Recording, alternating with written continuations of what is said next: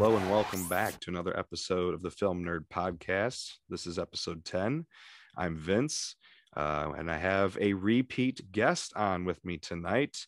Welcoming, welcoming back Chris Castellani from episode four. Uh, just a little condensed intro podcaster, social media sports guy, Tigers fan, U of M fan, movie fan, reviewer, Chris Castellani. Welcome back. How you doing? Happy to be here, man. Yeah, looking forward to it. I, I guess I, have I've become a man who wears many hats, and i am gonna have to wear all of them uh, this week with uh, Tiger Spring Training and got movies to review, and of course March Madness going on. So plenty to talk about for sure. You got there's a lot, pretty much everything I just hit there. You got going on right now. And speaking of yeah. March Madness, we're not gonna we won't go too long here because we got we got some a little bit of a break in between games here, but we got to get get back to some good games uh, in a little bit. Um, so Chris and I are going to talk about two things here tonight. The first thing I wanted to chat with him about uh, the Oscars this past, I believe it was Monday morning. They announced the uh, 21, 2021 Oscar nominations. Um, and we're going to kind of go through each major category here and talk about uh, kind of some snubs, surprises, um, and then maybe what our picks would be for each one of the major categories here. Um, so obviously the first thing with the Oscars this year is for the first time, I think since World War II, they extended it. Um, yeah. the dead the deadline usually I think is before Christmas. They extended it through the end of February. And I think I remember reading that the only other time they did that was World War II. So it's been a long time since they did that.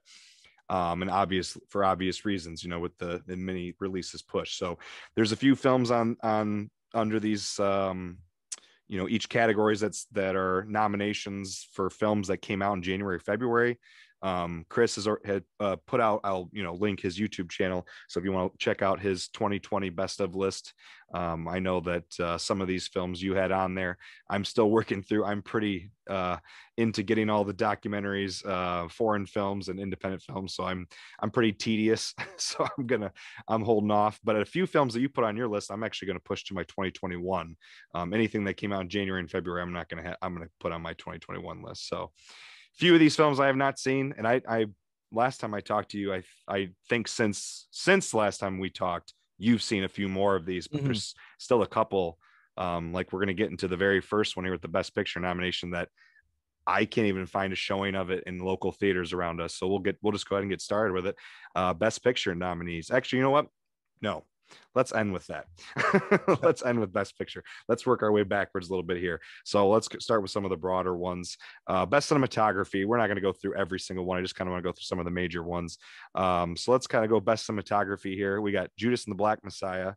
Mank, News of the World, No Man, La- Nomadland, and the Trial of the Chicago Seven. Um, what do you think on that? When he surprises or snubs on that list there for best cinematography? No real surprises, but I think almost all of the technical awards are gonna it's gonna be a boxing match between Mank and Nomadland. Um, I, I was yeah. I like I like Nomadland a lot. I didn't love it, but I adored the technical elements of it, and I think absolutely, yeah. This is this is probably going to be the favorite. In in a lot of years, I think it would probably be Mank. That movie looks beautiful, but I, I think Nomadland is probably going to be the favorite in a lot of technical categories the only and this is going to become a reoccurring theme for me the the couple of films that i'm really disappointed didn't get any love two netflix original films uh um, the devil all the time and um, i'm thinking of ending things. Both of those had great great cinematography in terms of the colors framing blocking camera work and so i was kind of disappointed to see those films got nothing performance no no acting nominations anything. Um, for me though I was kind of surprised about um, I guess the trial of Chicago Seven. I don't know. I I watched that one back in the fall. I wasn't big on it. Didn't stick in my mind. Um, but I guess I guess I shouldn't be surprised. I feel like that was kind of going to happen uh, because that was kind of a popular one. Mm-hmm. Um, what do you think? What do you got? What's your pick I, for this one? I, am going. I'm going with Nomadland, and I do agree with you. And I like Trial of the Chicago Seven a lot. But when I think of cinematography, that's not in even in my top five of things I liked about that movie. Yeah, so yeah, I, I would I think Nomadland. I think that it's going to be this is going to be a year where almost it's going to sweep a lot of the technical categories. And I guess before we even get a little bit further here, Nomadland is among a few films here that I feel like in a normal year would not get any recognition at the Academy Awards, which I think is really cool. um, with the Academy Awards this year, and I'll kind of touch on a few more of those as we go through here. But there's a handful of films that because so many there were so few releases, um, I was pleasantly surprised that they got nominated, but also it's like there's not much else, and so yeah. there wasn't there wasn't much else for people to nominate. Um, so we'll move on here to the next two. Both of them are screenplay. We got best original screenplay, best adapted. So we'll go best adapted first. Uh, Borat, Borat subsequent movie film, uh, The Father, Nomadland, One Night in Miami, and The White Tiger. Any uh, snubs or surprises on best adapted screenplay? Uh, I'm, I'm trying to think. Nothing that pops comes to mind right away. I what's weird though, looking at this, None of these, and I didn't see the father. I'm surprised White Tiger was not. That was the one I meant was referring to earlier. The father has no uh, streaming release and has yeah. yet to have, at least where we are in Lansing, mid Michigan. I have not found a local theatrical release, so I don't know when I'm going to be able to see that one. It wouldn't shock me if, because I, I feel like very often, not always, but very often, Best adapted screenplay goes to the movie that is nominated for a bunch of awards but doesn't win anything else. Like Jojo Rabbit won it. That's, you know what I mean? Like very, uh, yeah, that's a very true observation. I agree. Like it, in all those years where Tarantino didn't win director, he almost always won screenplay. Screenplay, yeah. I think we might have a case like that, and I think they might either throw a bone to either The Father or one Night in Miami because One Night in Miami, I don't believe got a Best Picture or a Best Director nomination. So they might be uh they might be inclined to kind of give it to that. I think it'll be between those two. Yep. Did not get yep, you're right. Did not get either. Uh yeah. Um I I tend to agree with you with that observation. It is it is interesting how if you don't have a year where a film kind of sweeps some of these major categories they tend to award like you said one of the two screenplay nominees uh, ends up going to a film that doesn't get anything else so i do think that's kind of interesting um, I was again, I'm surprised. I'm thinking of ending things. Adapted screenplay from a novel, Devil All the Time, also a novel. Um, I think they were done very well in in film version, how they were, you know, um, seemingly adapted. I read some of the changes of both the novels, so to me, those are some disappointing snubs. Um, I have not had a chance yet to see The White Tiger. That one's on Netflix. One Night in Miami, I still have on my watch list, and like you, The Father, I've not been able to see. Um, I I would be I would think it'd be weird if they gave it to Borat again. Yeah. To me, it's going to be Nomadland, The Father, One Night in Miami. I haven't heard a lot about the White Tiger. I've read a few reviews, but not sure on that one. Um, best original screenplay we got Judas and the Black Messiah, Minari, Promising Young Woman, Sound of Metal, and The Trial of the Chicago Seven. I mean, I Promising Young Woman is my favorite movie of last year, but I I love I, have I love hard, it too. Yeah, I have a hard time believing that um, they're not going to give throw another bone to Sorkin here. I, I think I yeah Chicago Seven will probably win here. And, and, again, you know where I said that cinematography was not something that I thought of when I thought of the reasons why I like that movie. His screenplay is is leaps off the page in my opinion, yep. and I know he's won it before, which sometimes is detriment when you look at kind of the you know the the political aspect of of a lot of this stuff, but nothing else really pops out. Maybe, maybe Judas and the Black Messiah, but I think that's going to yeah. win some other categories. So I think that here they're gonna they're gonna hand one to Trial of Chicago Seven. I agree with you. Um, and I I don't see any snubs to me off the top of my head sticking out. Um, in terms of an original screenplay, Tenet I think is a little too bloated for most, too bombastic. Yeah. Um, to get an original uh screenplay. Um, so I, I mean, off the top of my head, I, and I'm looking at my list, I couldn't, you know, there was nothing really that sticks out that should be on there. And, and I will I would, say, if the, if there was a snub for cinematography, I might have I might have put Tenet in there. Uh, yeah. in cinematography, I mean, Nolan's yep. movies just look so beautiful. So I, I if I'm not surprised it wasn't nominated. It did get visual effects. It was yeah. Which, we, which I kind of yeah. skipped over some of the other te- technical categories just to kind of keep things moving along. But yeah, that I would have been shocked if they didn't nominate it for visual effects. Right. Um, for best original, I I would love to see. I, I know you're a big Aaron Sorkin guy. I like Aaron Sorkin, but I would kind of love to see the three middle nominees here that I mentioned: Minari, Promising Young Woman, Sound of Metal. Very all small films. Um, I would love to see any one of them get get it.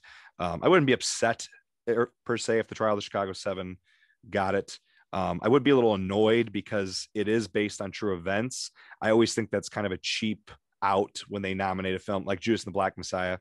It's based on true events, true Yeah. real life people, historical events, even though it's, you know, it's not adapted from something, it's kind of adapted from real life. So Yeah. the other three, since they're original stories, truly, you know, not based on anything at all, I would love to see them, especially, Sound- I mean, I love Sound of Metal and Promised Young Woman Me too. those two i would really enjoy seeing those so let's jump into the uh, acting categories here before we get into best picture and best director so let's go through um, supporting first we got best supporting actor sacha baron cohen uh, for trial of chicago 7 i feel like he could have you know also maybe got best actor for borat but Yeah. they snubbed him the first time around i don't i think he won the golden globe he was not nominated for an oscar the first time around for the original borat daniel kaluuya uh, judas and the black messiah Leslie Odom Jr. from One Night in Ma- Miami, Paul Raci. That was such a surprise, and I was happy to see it for Sound of Metal. And then Lakeith Stanfield. It's This isn't one. for Judas and the Black Messiah. Now, this is a weird topic of discussion I've seen on social media. It's very confusing. Daniel Kaluuya and La- Lakeith Stanfield were both nominated for Best Supporting Actor in Judas and the Black Messiah. And so, what I read is apparently what happens in a situation like this is it's all based on the voters and what they assume they would fall under. Okay. And they said what probably happened is be, even though Lakeith Stanfield is technically the lead, he's the he should have been nominated for best actor. Right. But they said what happened is he probably got more votes for people saying, "Oh, best supporting actor" than he did for best actor. So that's how they categorize it, which to me is very bizarre. yeah, same. I didn't know Yeah, it worked that way. That is very odd. I this is a very strong category. I mean, Super really strong. strong. I, I mean, I think that um, you know, in a lot of years, I think they would give it to someone like Sacha Baron Cohen. I, I just, I the Academy loves that classically comic actor stretches, gets kind of the role of a lifetime, but. Um, I, I, as you said, I'm really happy Paul Raci was nominated. He was to So me, yeah, absolutely. it's weird because I like Sound of Metal a lot, but I'm not crazy about the girlfriend. I mean, I, I call it a subplot, but it's kind of the main plot. Yeah, was To it? me, my, my Oli- is that Olivia Cooke? Olivia yeah, Cooke, who, who's name. really good, who's Yeah. really good in it. I just, I the movie to me was gold when it was those two, when it was Paul Raci. some those are some of the best moments in the film are when Yeah, they're and- talking or communicating to each other you know they're, they're Yeah. very My- emotional powerful my favorite moment of the movie and real, one of my favorite scenes of, of the year was their final kind of interaction together. I thought it was yeah. so heartbreaking. Um, with that said, I'm not crazy about Judas and the Black Messiah, but I thought Daniel Kaluuya was sensational, and I Did would you be. have I, you have you had uh, any chance to listen to how fred hampton spoke in real life Yes, well, I mean, he they, they nails the accent they showed it at the end of the movie. Then I went back and watched some stuff Yes. afterwards. Yeah, no, he is um he's a revelation in that, and he's a great actor, and he's been a great actor for a while. I think. I think they're going to toss it to him. Loved Leslie Odom Jr. in One Night in Miami, and Yeah, I think if not see that one yet if not for Daniel Kaluuya really breaking out here, I think he might be the favorite. But yeah, I, I think um, Kaluuya will, I think, win. There is the possibility that the votes between Kaluuya and Stanfield kind of cancel each other out and it ends up going to that, you know, kind of the third option. But I don't think that's going to happen. I think Daniel Kaluuya won Best Supporting. the only for me a snub here would be daniel um not daniel david Thewlis in um i'm thinking of ending things he is so good in that uh, uh for a supporting role and then you could have nominated like two or three people in the, the devil all the time Yeah. Uh, Robert Pattinson is great in that. Harry Melling, uh, Harry Melling, I think is his name, is great. in Yeah. Um, I I'm kind of right there with you. Um, in terms of who I would I would love to see Paul Raci. Um, I wouldn't be upset. I personally wouldn't be upset if anyone won any any of these people won any of these guys won this category, but Paul Raci would be my pick there. Um, best supporting actress before we go to the lead roles here. Huge surprise, pleasant surprise for the first Yeah. one here. Maria Bakalova for Borat. Um, she honestly, I loved that Sacha Baron Cohen brought her on, Yeah. uh, but she was great. Then you got Glenn Close, Hill, Hillbilly Elegy.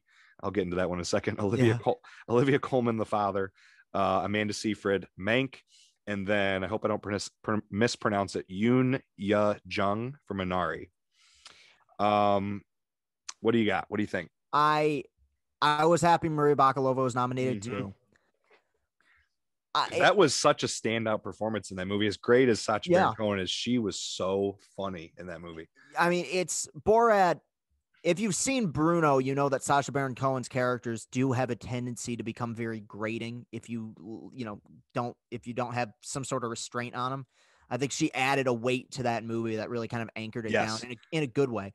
Um, surprising I, way in a surprising way. I did very, not expect very, yeah. when I went into that movie. It was strange that that film ended up having, a, you know, a semblance of heart because I think that sometimes I, I love so shocking. I, I, love his comedy, but I think in, at times sometimes his comedy has come across as a bit mean spirited. It's never bothered me, but I here's what I think. I believe that, and I have not seen the father. Like I said, I got to say yep. Neither have I. My guess is the best performance in this category is Olivia Colman, but and it's yeah. ironic. Two years ago, Olivia Colman upset Glenn Close to win for the favorite. She was great in that. Favorite. She was excellent in that. Yeah, and that's a very good movie. I don't think Hillbilly Elegy. I haven't seen Hillbilly Elegy. Dude, it's the, bad. It's bad. The parts of it that I watched looked bad. Um, it is. It She's good. Poor, right. Well, that's the thing. It got poor reviews. She's been nominated, I believe, eight times now. I, I just I I think they're they're dying to give it to her, and I think they will. I just think it would be so funny if this is the role she finally wins it for. And people were speculating that Amy Adams might get nominated for that movie. She didn't. Um, but they were like, is she gonna finally Amy Adams is also another, you know, actress who's been nominated so many times and hasn't won, and she's so so great in everything she does. So the iron it's just it's going to be such a big meme and joke in the film twitter community if she ends up yeah. winning for this role um yeah I wouldn't mind Yoon Jung from Minari because she was so good in Minari. That uh, all the performances in that movie were great, so I wouldn't be upset with that. Um, yeah, I wouldn't be upset with anything here. Um, the only thing I would say is uh, another snub. I'm thinking of ending things uh, Toni Collette. She's uh, always good, man. She, she is. She, she never me, gets honored for anything. I'm always shocked by that. Maybe the most one of the most underrated actresses. I've she never is. seen her give a bad performance. No, and I mean another. You know, the, the Academy never recognizes horror, but she Heredity. was incredible in Hereditary. Incredible. Or Hereditary. That's yeah. So good. Anyway, yeah. um, let's move on to the the leads here. Uh, to keep things pushing along. So we got best actor and best actress. Best actor. I can't believe how stacked this category yeah. is. I'm very excited to see who wins. I wouldn't be mad at any of these. We have Riz Ahmed, Sound of Metal, Chadwick Boseman for Ma Rainey's Black Bottom, Anthony Hopkins for The Father, Gary Oldman for Mank, and Steven Yeun. Uh, is it Yoon or Yun? Yoon? I, I think, it's Yoon, Yoon, Yoon from Minari. Michigan um, native. Yeah, that's right. He is from Michigan, yeah, and I, Troy, you know, yeah. most people are are familiar with him from Walking Dead. Um, but since The Walking Dead, man, he has branched out in a lot of great movies. Um, if you haven't seen the Korean film Burning, uh, he plays a sinister character in that film, and it's one of his best performances. And then I would say this in Minari, if you haven't seen Minari, he is incredible in this movie. Um, what are your thoughts on the lead actor role here? Or Chadwick, Bo- Chadwick Boseman will win. Um, I would I would be, be, shocked if he if he lost. Yeah. This to me is like if I was I'm not a gambling man, but if I was to put money on one, I would say him. And he's great in Ma Rainey. He's my easily my I'm not crazy about that movie, but he's easily the best part of it. I think well years from now, when Riz Ahmed gets nominated for another Oscar, he's so talented. Yeah, when he gets nominated for another one, and maybe he's like neck and neck with somebody else, we're gonna say, you know what, we're gonna give it to him now because he probably should have won it for Sound of Metal. It's one of those instances where yeah, it's lined up with you know a a, a great performance and a sentimental story, a tragic story, you know, obviously Yeah. I thought I thought Riz Ahmed Sound of Metal was an absolute revelation. Was, yeah. one of one of my favorite performances of the last several years. For sure. If if there is an upset pick here though, I wouldn't say him I would say Anthony Hopkins. He's another one though where he's won before. If he yes. hadn't, if he hadn't, this would be a much more interesting category because you could have the kind of Christopher Plummer kind of uh, situation for beginners where he was yep. like 87 or something and ended up winning an Oscar, you know, late in his life. But he's already he got his one for Silence of the Lambs. He's, everyone knows he's already one of the greatest actors of all time. I think he was nominated last year for the two popes. So uh, yes, I believe was. it. It'll be it'll be Chadwick, and uh, it'll be it'll be a wonderful moment, a sad moment, but uh, and, and well deserved. I think he's great in that movie. Absolutely. Um, I'm right. I pretty much everything you just said. I agree with you. Um, I the only thing I would say in terms of a snub on this list, I'm going to keep going back to it, man. Jesse Plemons. I'm thinking of ending things. I thought he was in one of the all of the leads in that, all the performances in that are great. Mm-hmm. Um, and that that would probably be it. The only one off the top of my head I would think for a snub. Um, and I'm not really surprised in any of these. Uh, I think it's a strong category. It's going to be interesting to see who wins, and I'm right there with you in terms of how that plays out. Yeah. All right, we're down to our last three. Best actress. We got Viola Davis, Viola Davis, Ma Rainey's Black Bottom, Andra Day, The United States versus Billie Holiday, Vanessa Kirby for Pieces of a Woman, Frances McDormand for Nomadland, and Carey Mulligan, Promising Young Woman. Thoughts? Well, out of nowhere, Andra Day is might be one of the favorites because she won the Golden Globe, kind of so very yeah, surprisingly. And I have you seen this film yet? No, I dude, I I'll be real with you. I'd barely heard of it. I hadn't heard of it till it got nominated for all this right. stuff. And I just restarted a Hulu account and it's on Hulu. So I was thinking about trying to watch it pretty soon here. So yeah, I haven't had a chance to check it out.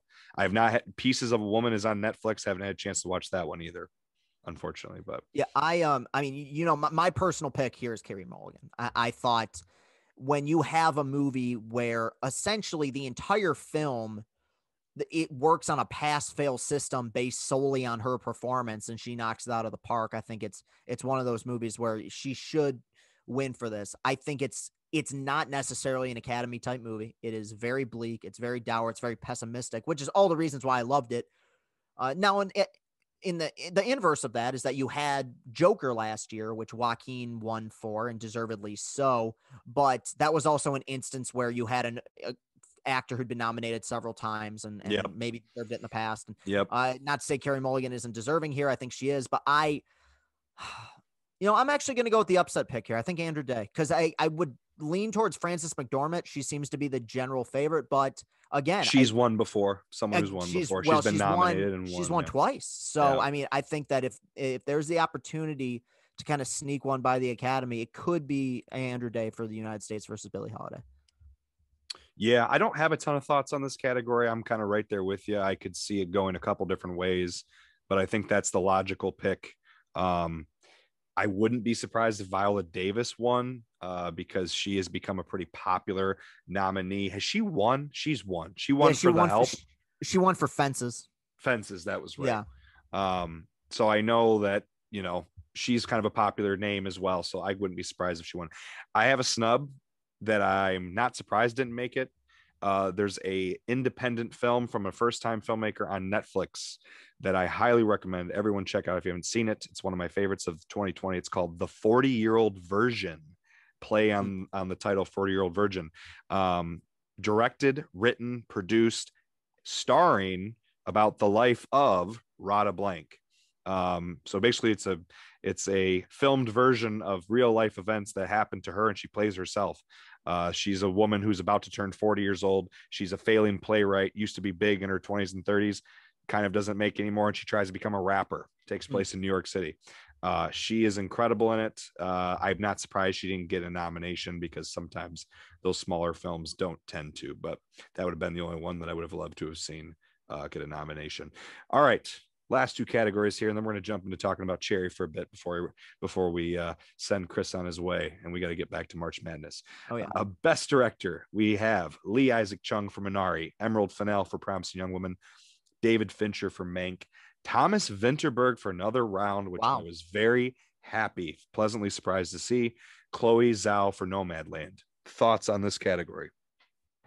I mean, I I think it's about at least 10 years past due for Fincher at this point, but I don't think it's going to be for this. And I enjoyed Mank, and I thought Mank was gorgeously directed, but it is one of the weaker films of his filmography, and I think that's going to hurt him. Um, I Promising Young Woman I adored, but if we're just talking directorial prowess, the look of Nomadland stood out to me more than anything else about that movie, even the performances. There is something about, and it's why I'm very excited. When I first, when I saw Chloe Zhao was going to be directing Marvel's The Eternals, I was like, Yeah. wow, that's strange. But you look at the scope of Nomadland, it has this, and I mean this in the best way, a weird look where it's a very intimate story, and yet it's shot in a very epic with a very epic scope. It, feels big and important when Mhm. you're watching. A lot of wide shots, a lot of beautiful establishing shots of the, of the rising On sun. location, yeah, all the Yeah, I mean, location it's- shots it's- are beautiful.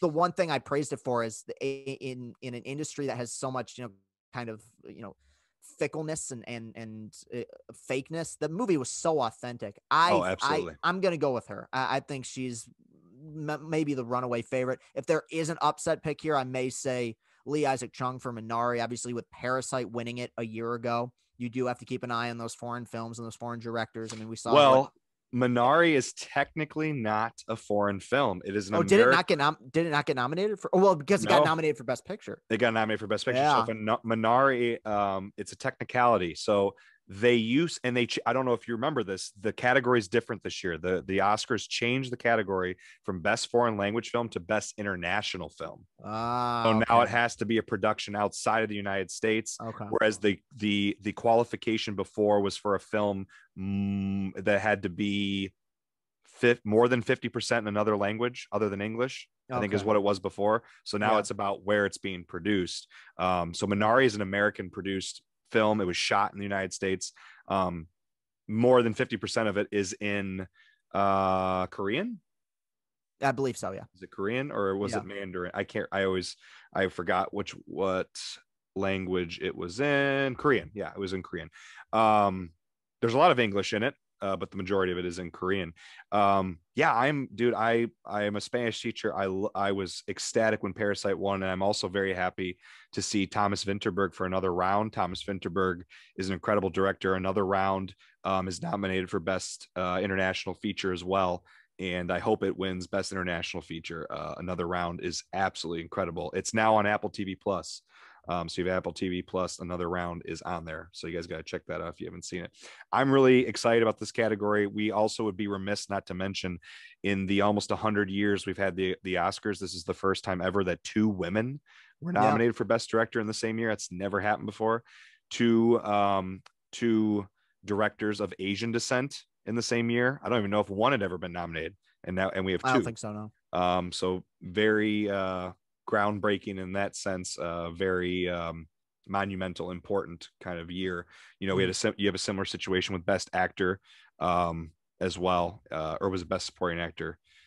Well, best, actor. Best actor. I know Riz Ahmed's the first uh, Muslim to be nominated. first Best- Muslim to be nominated.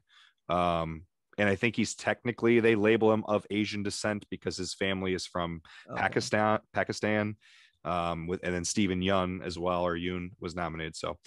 Pretty cool stuff. Um, I can't think of any snubs. Um, I know Spike Lee was very angry on Twitter that The Five Bloods did not get nominated for anything other than best score. Um, I enjoyed The Five Bloods, and I thought, uh, is it Delroy Lindo Well, uh, yeah, should have been if- nominated for best I- supporting actor? But I'll, I'll agree with you there, and I didn't. I did not particularly care for that movie. Yeah, I know don't, you weren't a fan of it. Really care for a lot of Spike Lee's movies, but he he was excellent in that. He does Very get the good. most out of his actors. I I think. I was surprised because that's another actor, character actor for a long time. I thought maybe we'd have kind of like a, a J.K. Simmons esque sort of nomination where you get a guy who's been in a ton of movies and finally gets that perfect role. yeah, uh, oh, so I never a I- lead, always the character actor. Right. So I was surprised he wasn't nominated. Yeah. Um, so one more category here. Best picture. I guess before we do best picture, I can really quick mention best animated feature film because I think that's kind of a major category. Yeah. Um, I don't know if you want to give your thoughts on this one, but we have Onward, Over the Moon, Shaun the Sheep movie, uh, subtitled Farmageddon, Soul, and Wolf Walkers. Uh, my pick is Wolf Walkers. I don't know if you had a chance to watch it. It's also on Apple TV Plus. I have not yet, but It I may so- have to now that I got Apple so TV. good. But So uh. Soul will win. Uh, Absolutely. yeah. uh, I would be shocked if it if I would be ecstatic if Wolf Walkers won, but I would be absolutely shocked. Um, so best animated feature. Let's do best picture now. I just thought I would mention that one. Mhm. Uh, we have for our nominate nominees for best picture 2021. We got The Father, Judas and the Black Messiah, Mank, Minari, Nomadland, Promising Young Woman, Sound of Metal, The Trial of the Chicago Seven. Those are our nominees. Nominees two, four, six, eight. Isn't the limit 10? So they didn't do 10 this year. Two, Yeah. six, eight. They can do 10. They only did eight. Mhm. I um this is tough because I think Nomadland is gonna win a lot of the technical awards. I think it'll win director, might win actress, cinematography. Best picture is a weird one. And we've seen in recent years the film that, with the exception of Parasite, the film that is often kind of the odds on favorite coming into the awards. And then they get to best, it wins a bunch of technical categories, and they get to best picture, and they kind of, uh, you know, swerve in the other direction. Several years ago, Yeah. several years ago, Roma cleaned up Best Picture goes to Green Book. Uh, La La Land. That's right. so stupid. Yeah. I know. I, I don't know if anyone oh, who man. agrees with that. La La Land cleaned up. They go to Moonlight. Uh, The Revenant cleaned up. They go to uh, uh, what Spotlight, which is a great, Spotlight, you know, yeah. great, great movie. Um, yeah. So I can't shake the feeling that Judas and the Black Messiah might might be the one that kind of pulls the upset here, but I'm mm-hmm. I'm I'm 40% certain of that and I'm about 55 When you say upset, are you saying upset over Nomadland? Yeah. Okay. I still I'm still going Nomadland, but I think that they're because I think that between Judas and the Black Messiah and Trial of the Chicago 7, I think there might be a race for second. And I think Nomadland edges them out and, and wins best picture. Um and one thing I want to mention here is I, I, there's so many years when when there's a lot of bad movies that get nominated for best pic- picture. I wouldn't. Now the only one I haven't seen is The Father. I've seen the rest, and I wouldn't call any of these bad movies. I no. think they're all good movies, and I've heard so much praise for The Father, so I can only assume that that's that's a movie I'll probably enjoy. Um, so I'm really happy with this list.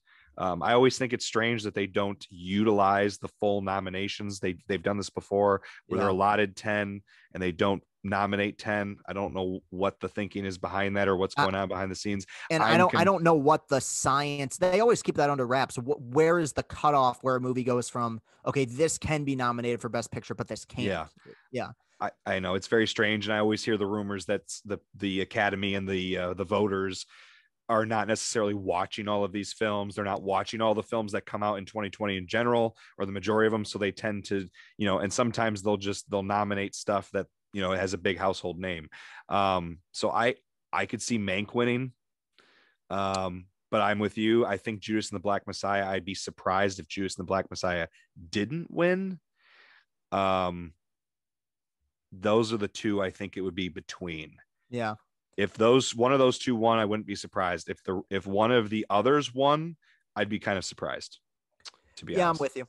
I will say, lastly, in general, this is the first year in a long time. we've talked about certain snubs, but this is the first year in a long time I haven't had one or two major gripes. Like I don't. Maybe it's just. I, yep, I agree with you. Maybe it's just the year having. There's fewer releases, and so you know there's less you know, less kind of fat to potentially trim, you know, to kind of cut cut into. But I, I think in general, I was you know, I was pretty pleased with the nominations. I uh for best picture, I would have nominated uh, One Night in Miami. I thought that was excellent.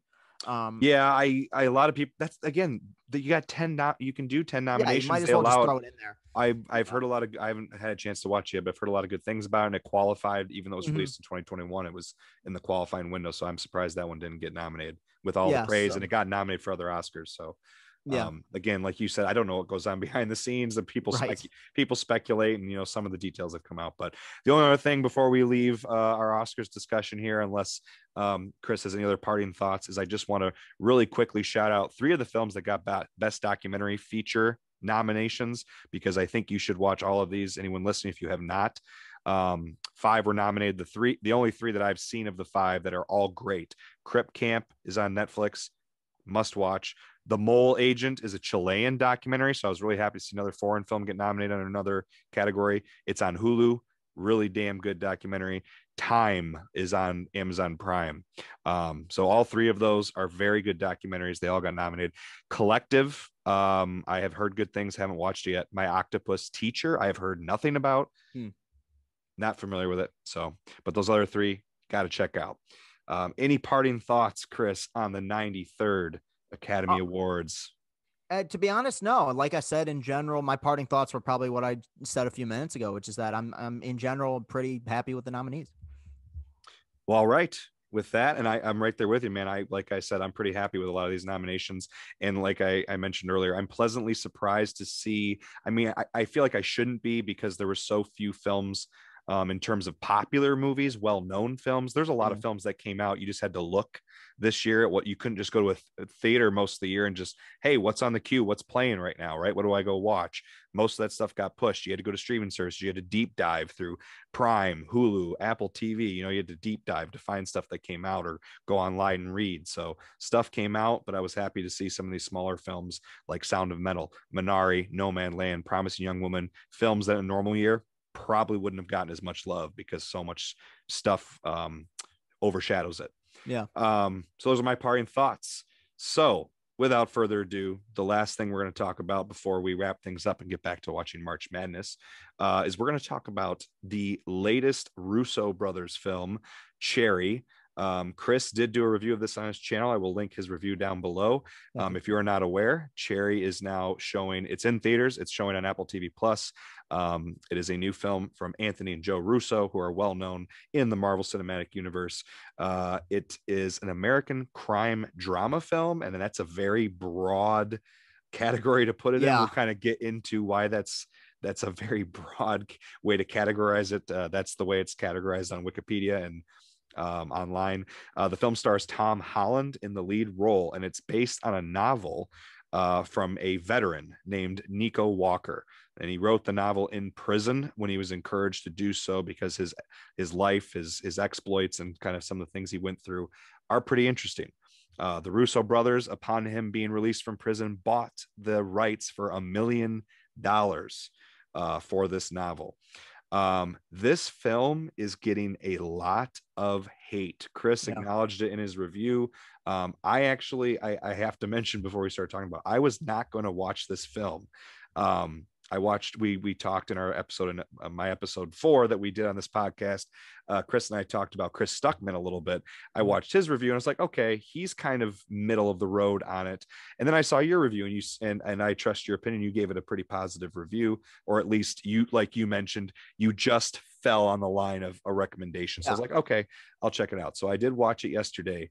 Um, I don't, I, I, I get the hate and I don't I get people not liking it. I understand not liking it because we're gonna we're gonna get into mm-hmm. it. It has a lot of problems. Yeah, there's a lot of things to be critical about with this film, but there's a lot of things that I I liked. I don't know. I sat there and more than once out loud to myself, I'm like, I kind of like this. I don't know. I'm yeah. kind of I'm enjoy. I'm I'm not like upset that I'm watching this or not enjoying my time watching this film. So um that's my introduction to it. I'll kind of let you give some of your opening thoughts here on this. Well, the the thing that kept you know the point that kept sticking out in my head, and I mentioned this in my review, it is memorable. Like I I'm not oh, gonna yeah. forget what it is.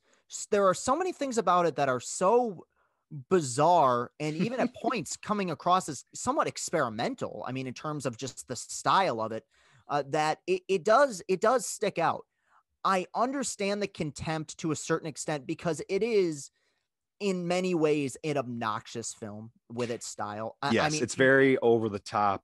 Yeah, it's kind of like full yeah. of itself. And yeah, I, it's it's not as bad, but it's kind of like if Michael Bay directed Requiem for a Dream. Like it, it's where, where you take or Full Metal Jacket. Right. Yeah. Yeah. It's or, like or in some, that vein. Some, yeah, some hodgepodge of the two where it's yeah. It, it's it's style over substance. Absolutely. But there was enough stu- substance for me to be like, all right, I'm this a recommendation, mainly eh, because of the fact that I, you know, I think Tom Holland's excellent. You know, I don't agree. The Russo brothers, it seemed like we're trying to do like a late Oscar push with it. I don't think he's that great, but I think in general, um, I think he was better in The Devil all the time. Yeah, I thought he was great in that too, but I think it's a fearless performance. It's it's a film that could have used, I think, one more draft of the script. Because the one thing that stood out to me too is that I thought it's weird because the Russos, who are so good with the action in the Captain America movies and yep. in, in the, the Avengers movies, I thought the army stuff was pretty flat. Um, but they, they kept they, using a lot of they even not even just those scenes, but a lot of scenes in the movie, they kept using a lot of, I don't know if it was a drone or a helicopter shot, but a lot of above overhead shots mm-hmm. and a lot of wide sweeping shots. Yeah. Um, especially for those sequences. I didn't understand, and I'll have to maybe I'll have to do some more research. I don't, I didn't understand changing the aspect ratio when yeah uh, he went to you know went to war. I, I don't uh, I, would have to look up more as to what the intent was. And there were those moments yeah. throughout the film where I'm like, I don't know what you're going for here, but they have said in multiple interviews they wanted to make a movie about the opioid crisis. And the best parts of the film are that are Tom Holland and Ciara Bravo struggling with that. And I it got to the end and obviously you have to stay uh, faithful to the source material, but I kind of felt like it's despite the fact the very end was a bit schmaltzy, I was like, okay, this works for me. This works more than it doesn't. I, I get Yeah, this that's how I felt. conclusion. Uh, it, as disjointed and as fuzzy as it may have been, I think its heart is in the right place, and it the performances carried it enough where I'll, you know, I. I- could even see myself watching it again at some point if it comes I, on TV. and that's what I was doing. So one of the biggest merits for me um, of a great film is the rewatchability. I always tell people that, and typically, you know, the reviews that I've pushed out on Instagram for years, and you know, when I've done some of this stuff on YouTube, that's usually my biggest talking point, especially near the end of my thoughts on a film or even a TV show, a miniseries, anything. Does it have rewatchability? Is this going to hold up on a second viewing? Is this something I would want to watch again? Um, even more than twice, you know, multiple times. And I couldn't help thinking all day today. I was split on that because, on the one hand, it is very memorable. There's a lot of things about it that it, they take a throw shit at the wall and see what sticks approach. Because I feel like ev- th- there's really four distinct films in this film, and within those four Yeah. distinct portions or parts, there's so much going on in terms of the like you mentioned the experimentation uh the direction um you know the way they use the camera the way that they're editing and their post production um they use uh, visual dialogue that's superimposed on the screen during the uh the, the some of the basic training sequences um so but i couldn't help but thinking there is a lot in that regard that is so interesting that i kept thinking about it today Mhm. but I was also like, I don't know if I could do two and a half hours of this again. yeah, I forgot and about I- how long it was. Yeah. It it dragged. The third act drags. I know you said the opioid um, exploration, that sequence, and you know the drug abuse, the descent into you know, uh, you know, the addiction is kind of one of the more interesting aspects of the film. I didn't like that sequence because I didn't think they explored it in an interesting way. I thought Fair. it was I thought they tried to explore it in an interesting way, but like there was nothing said about the the addiction to me. I don't I didn't feel like they came across and th- I felt like it was almost not glorified, but the way that they stylized the film throughout and even in those sequences, I felt like it was very like uh, is this how you want to put like you mentioned Requiem for a Dream?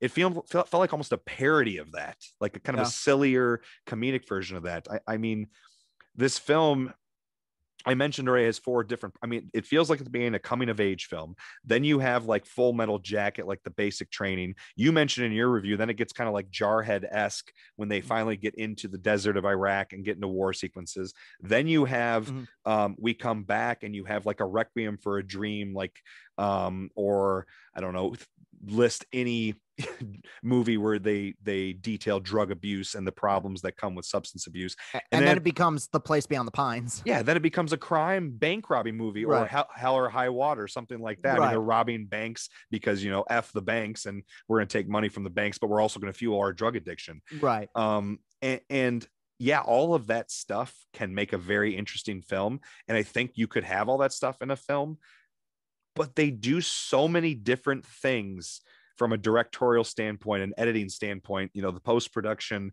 um, the tone. You mentioned it in your review. The tone is so all over the place. I Yeah. don't know. And I'm all for blending tones. And I think there's a lot of directors, a lot of films that do a great job of bringing multiple genres, different tones into a film and blending them. This film doesn't really blend them. It's like it wants to have its cake and eat it too. It wants to focus on one thing and then go to something completely different. It doesn't really mesh them from you know the film is literally broken up into chapters i mean they superimpose Mhm. chapters from chapter to chapter i don't feel like these different ideas mesh but like you said it's wildly entertaining and memorable. And um, while i don't think by the end it, it really said anything that interesting on veterans ptsd substance abuse crime in america especially when it comes to you know veterans who are you know downtrodden and not treated well Mhm. i don't i don't know about you but i don't think it ever took time to really say anything interesting. I think it was more the film was more and the russo brothers were more concerned with the style and being so wildly entertaining and experimental that along the way they kind of left left behind some of those interesting themes that could have been explored in a meaningful way. And they end up exploring them in kind of the most run of the mill way you know some of the some of the most cliche ways i mean that you could have possibly done it that just like you I think it, I think you said it in your review, or maybe I'm thinking of Chris Stuckman. I can't remember whose review I was watching, uh, where they they talk about how from scene to scene and chapter to chapter, you can literally they're wearing their influences on their sleeve. I mean, you can mm. say this is Full Metal Jacket. You know, this is like you said, uh, Place Beyond the Pines. This is, uh, you know, name any movie that those those genres fall under. But mm-hmm. now, look, I don't I don't disagree with anything you said. I don't. It, it's just I and I think the Russos are. It's like this would have been a great movie to make like next time around. Like I think they should have had one more movie in between the big popcorn fun that was the Avengers yeah. movie. It's like I don't know if they are yet. And I well, they they did, they did. Uh, Extraction, Extraction was on Netflix last year, wasn't oh that Russo brothers? Forgot about that. Yeah, did they, they, they, they directed slipped, that? Yeah, they slipped oh, that in goodness. between. I think I, they I, wrote it too. I think. Wow. Yeah, I guess you're. Right. I just I think I think they'll get there, but right now I don't know if uh, there you really need a layer of of maturity and depth to be able to tackle uh you know stuff like that stuff like they, addiction sorry i don't mean to interrupt you. They wrote and they wrote and produced it. They did not direct it. They were the writers okay. and the producers so okay well so that yeah. kind of explains that the direction of that film was was a little bit more cohesive and and fluid and uh mm. you know wasn't all over the place like this one so sorry yeah, no i mean it's it's it's everywhere it's tonally inconsistent um, it is, yeah. I mean, like you said, it is a little bit hollow, but there, there's not, there's not much emotional resonance to, no. uh, at the end regarding. I didn't characters. feel for any of them. I, I felt like they held you at. They end up making you feel like you're held at arm's length throughout the film, mm-hmm. Because even though you want to feel sorry for, I, I, know they don't say Nico Walker. I know it's based on his life, but they never. I, they just call him right. Cherry. He's referred to as Cherry. I don't even think he's ever named um, you know, distinctly named in the film but right. um, i know you you want to feel sorry for him and guys like him who were manipulated into the in the military because they had nothing else to do they were preyed upon in that regard then they're suffering from ptsd when they come back they're not treated well when they get back but the way the film explores it uh, and again, Tom Holland, like you said, gives a great performance. Great, I, yeah. the, the, one of the best scenes in the movie, I think, is when right after the first battle that he is in and stuffs the guy's guts back into him and sees all these people dying um and or no no no no excuse me it's after he sees his his roommate his bunkmate burned alive um, when he calls his wife on the phone and he is telling her to talk about her and he's doing everything he can to hold back crying. That to me was one of the most emotionally you know that one resonated with me. That yeah. scene i thought he did a great job with that. That was probably more so from him um, and just maybe it's a little manipulative and cheap because you show that in a film, you show a character, you know, who's seen something like that. Um, you're naturally going to feel sorry for him. But I think Tom Holland delivers. I think he delivers in that moment. Outside of that scene, there's not many that stick with me where I really felt for the characters because they're so unlikable in the second half. Mm-hmm. I think they could have explored them a little bit differently or portrayed them a little bit differently for you to feel a little bit more sorry for them. I mean, The Place Beyond the Pines and Hell or High Water are great, you know, bank robbing movies that I feel for those characters. Yeah. They explore them and develop them throughout the film and you empathize with them, even though they're criminals. I didn't feel that in the second half and the later because they're just feeling a drug addiction. Um, and you show them just being pieces of shit. Yeah.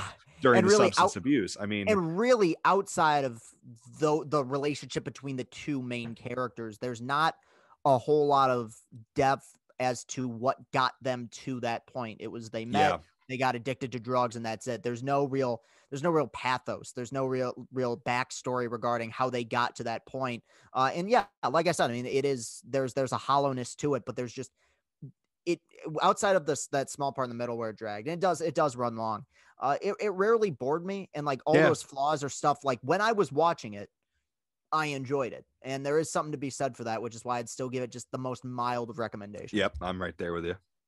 And and it's I'm glad you mentioned, you know, the pathos, the journey, the, the character arcs, the development, because um that was something else to me as I sat and I thought about this film. I watched some reviews, read some reviews, and kind of went back over my own thoughts on it. And it is strange what they choose to explore in the film opposed to what they don't choose to explore.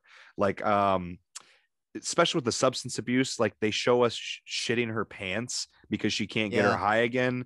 Um, why, why, why do we need to see that? Right. They, they, they spend moments with the characters when they're like, you know, in bed and they're just high. And, and even early in the film, um, some of the ways the characters are introduced and set up, like you said, I, I didn't feel like they explored the right aspects of the characters if that makes sense in order for Yeah. me to care about them and engage with them um and then what happens over the course of the film just really further removed me from having any investment in them um but yeah like you said i mean from start to finish i mean there's no shortage of entertainment um and you know what the hell moments like i Right. comment i commented on your review the uh uh, Colon cam? the colon cam. Yeah. Oh my! I that was all over Twitter before I even watched the movie. So like, I was like, "That's in this movie," and it's very brief Oh, it's But- it's two seconds. Yeah. but it's so brief that as soon as it's over, you're like, wait yeah, a minute. you have you have to do a double take because it's it's it's one of those you don't know what it is right away, and then you just wait. Okay, and then but it's it's one of those examples where the movie has has so many random tricks that it throws at you that by the time you're able to process them, you've moved on to another one. So Yeah, it's- like, yeah, it's like you're like, "W- w- wait, did they really just do that? And then you're Yeah. on to something else. Like, I, don't know if that's what they were trying to do or if they were genuinely thinking that they were making interesting artistic visual choices. That's another thing. I would like to watch some interviews with yeah. the I'd Russo to, brothers. I'd have to watch interviews yeah, I'm I, I can't tell. I can't tell. some of that stuff is just it's so bizarre i mean Yeah. i i don't know and I, again that's kind of it kind of fuels the entertainment factor and kind of Yeah. gives it a reason to recommend it Mhm. um somewhat um but yeah I, I don't know um that's that's about all of my thoughts on it. i guess the only other thing that i would mention is i, I did want to kind of we, we we talked about most of it but if you're listening i'm hoping you've you know you've don't care that you're being spoiled. I, I usually preface my our reviews with a spoiler warning, but um, if you're listening at this point, you've already had spoiled for you. Um, some other things they do in this, I mean, there's no shortage of weird artistic choices that singled out, or maybe if they kept it consistent throughout the film, would be interesting. But it's also entertaining and stupid at the same time because they throw so many different things at you. I mean, Right. between between the narration which is completely like ripped off of Forrest Gump. I mean, even the film itself kind of feels like a, uh, I think it was Chris Stuckman mentioned like a parody of, of Forrest Gump. So- yeah. But then within the narration, there's multiple scenes where they break the fourth wall. They literally divide the film up in chapters. Like it was like they wanted the film to visually appear like you're living in a novel, like you're being a part of the novel, which I'm not against. I love when Quentin Tarantino does it. Mhm. But then they, the way they start it, they have a prologue in 2007. Do they not know what a prologue is? Like I know a prologue leads into your story, but generally it happens before what happens in the story. And then That's the movie a good goes point, man. That's the a movie goes point. Back to think about that. 2002 in chapter Yeah. 1. I I- it's weird. I don't I, I don't know. And then they do these tongue-in-cheek visuals like i heard someone compare it to fight club like did you Yeah. notice the the name tags Uh, on the soldiers and the doctors dr whomever sergeant whomever and then shitty bank like in the background the names of the bank was like fu bank or shitty it was like it was like something at a fight club where they have these Mhm. tongue-in-cheek um, visuals that if you're not looking for them you're not going to see them so Mhm. it was like they tried so many different things and again it's entertaining but it's like it's a mess Yeah. it's so messy. Yeah, it I feels so deny that, disjointed. Can't deny that. anyway, um, I think that's about all, all the notes, all the things I'd written down, that written down that I wanted to discuss. Did you have? Uh, I know you already did a review. Again, if you want to listen to Chris's review, the link will be in the uh, Yep. description box on uh, if you're watching on YouTube. Um, any other parting thoughts? Uh, like you, I would give it a slight recommend, but it is kind of a at your own risk. I mean, it's long, it's weird, it's Mhm. stupid, it's obnoxious, it's entertaining, it's a little bit of everything. If somebody, my last thought will be if somebody came to me and said, that was the biggest piece of shit I've ever seen. Why did you recommend that? I'd say, I'd nod my head and go, yeah. And if somebody came to me and said, that was, that was spectacular. I've never seen anything like it. It was crazy. It was all over the place. I loved it. I'd go, yeah, yeah, okay. It makes sense. It's, it's, it's gonna be one of those polarizing films that I think people uh, uh will that people will discuss when you know years from now when we talk about the Russo brothers filmography. Yeah, I I'm right there with you. I'm gonna be I just am gonna be so curious to see what they do next. Um mm-hmm. I don't have their IMDb pulled up, but on Wikipedia they don't have a current project set up. Um so I don't know. It'll be interesting to see. Like I said, they after and after they finish their Avengers films, they did Extraction last year. If you've seen Extraction, it's solid. It's got some good action sequences. They wrote and produced that, but this is their first direct. Oh, they do have a film. It's to be announced though. It doesn't have a date. Oh, they oh, yeah. are set up to do The Gray Man. Yeah, which has a re- remarkable cast. I know. Hmm. Um, based on a book, The Gray yeah, Man. My guess is uh, hmm.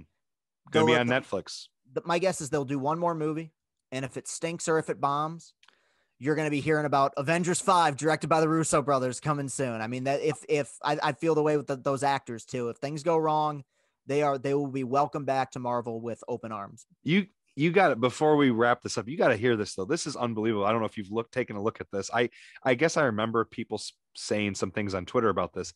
It's got ryan gosling and chris evans in it. Yeah. Ana de armas who was you know great in knives out. yeah. um some billy bob thornton um some of the other names i don't recognize just reading them but it is set to be the most expensive film ever produced by netflix 200 million dollars what's do you know what's first uh, I would imagine the Irishman had to have been more or had yeah, to have been that's right. That was about 150 or 175. So I can't yeah, believe I mean, this. That is amazing. you know, I, I, get it, but what is this? The yeah. Gray Man. The book's not even that old. It came out in 2009. Debut novel about a freelance assassin and former CIA operative. That's huh. a cool premise. Sounds interesting. So yeah. we'll see. We'll see I'll what the down. Russo brothers do next year with the Gray Man. But yep. All right. Um, we got to get back to some March Madness here. I got to let Chris go so we can uh, enjoy ourselves here watching some basketball. Chris. I know you were on episode four, but you are mm-hmm. more than welcome to plug plug away, man. Before we wrap up, at Castellani 2014 on Twitter. There you'll find the link to my YouTube page where, as Vince said, I'm reviewing movies. And I have another show, Locked on Tigers. It's at Locked on Tigers on Twitter for the Locked on Podcasting Network. It's uh it's been really fun the last couple weeks. I've gotten a few more guests in. We're doing crossover shows, and the season is rapidly approaching, talking Tigers baseball. And I also work for MaizenBrew.com doing two podcasts for them for them, the Brewcast and the Untitled Michigan Hoops Pod, which we've been doing all year. And hopefully we'll be able to do several more as the team hopefully makes a run. Knock on wood, makes a deep run through March and hopefully to the Final Four. We'll see what happens. So please follow me on uh, all those platforms, subscribe, like, do all that fun stuff. And I, I appreciate you having me on again, man. This is a lot of fun. Absolutely, man. And for all those links, they will be if you're on YouTube again. I'll have them in the description of the video. Um, otherwise, Chris, thanks for joining me, man. Uh, we'll be back again with another guest very soon. Um, until next time, I'm Vince, Film Nerd Podcast, and uh, go watch some movies.